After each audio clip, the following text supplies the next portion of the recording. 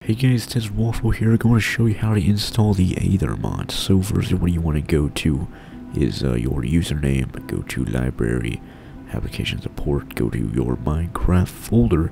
Go to Bin, and uh, let's let's just back up our Minecraft.jar. And uh, I, I highly suggest you try this on a brand new uh, Minecraft.jar because there are incompatibilities with other mods. So let's just name this uh, one yeah, let's just name it 1. And then uh, let's duplicate that. And then open that up with archive artil archive utility. Jeez, I can't even talk. And then uh, rename the folder minecraft.jar. And yes, add the .jar. Now we're going to install modloader. Now modloader, all you have to do is just copy all these files and then paste them into minecraft.jar, apply to all, and replace. We're done with mod loader. Let's go to audio mod, go to IBXM, copy all those, paste those into minecraft.jar, uh, copy Yoda class, paste that into minecraft.jar as well. Go to paulscode sound codecs and copy codec ibxm.class and uh, press P on your keyboard. That'll take you to the P area because this is in alphabetical order. Order go to paulscode sound codecs and paste that in there. Alright.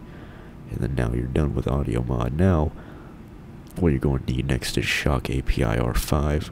Go to the bin folder, copy all that, and uh, go back to Minecraft.jar and paste that all into Minecraft.jar.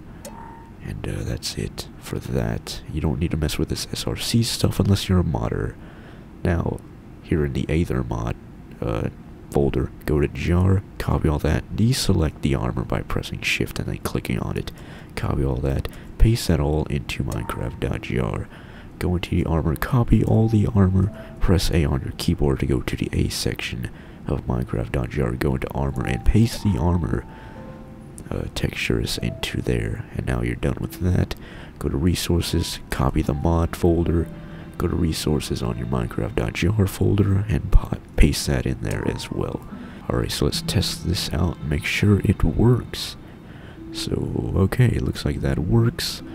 And uh, thank you guys all for watching. Hope this helped you guys out a lot. Because I, I know it uh, kind of gets confusing when installing some mods. So, hope you guys liked the video. If you guys liked the video, feel free to hit that like button.